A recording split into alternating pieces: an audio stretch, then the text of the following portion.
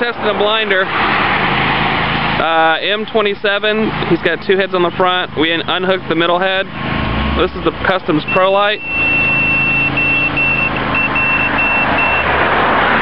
And uh, we're doing this for Adam, a friend of mine. This is the 210 software by Blinder. We're hitting this BMW here.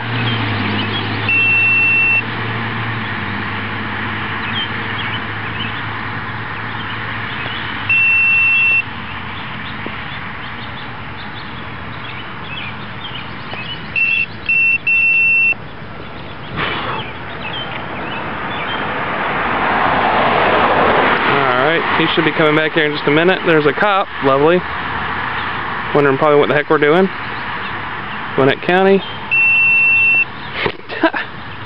here he comes.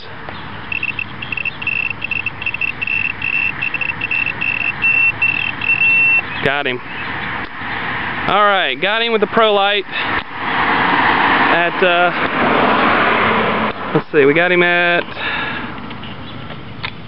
well, it's hard to see it, but there it is. 38 miles an hour at 363 feet on the right headlight. Alright. Try this again. It's really tough to hold this thing.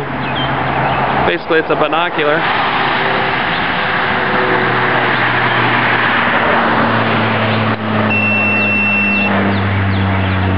There he comes.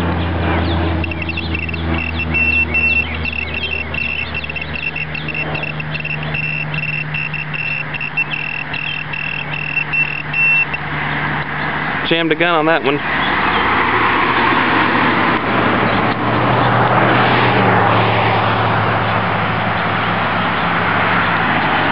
This is the uh, Kustom's Pro Lite. It's a pretty cool little gun actually.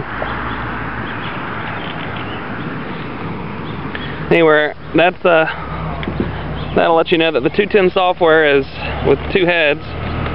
As he's got three, but we unhooked the middle head on here. Got one. As you can see, there's one in the middle, but we unhooked that head, and he's got one over here. One and two. Uh, we just want to see what two heads would do with an M27 2.210 software revision. So, didn't do too well. Uh, so, my recommendation, if you're going to get a two-head jammer, definitely get the LI. Laser Interceptor uh, have a new uh, software and their, their heads are a little stronger. They use a, a diode versus an LED that Blinder uses. Now diodes are more reliable, but when it comes to raw power and jam-to-gun capabilities, you just can't beat the Laser Interceptor.